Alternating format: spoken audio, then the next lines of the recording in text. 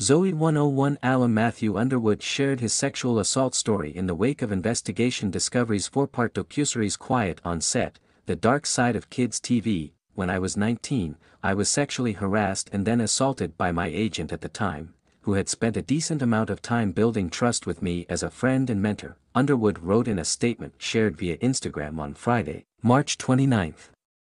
His former agent remained unnamed in the statement My trust was betrayed and my self-image was crushed, Underwood continued. I reported him to the agency and he has since been fired, although he is still active in the industry.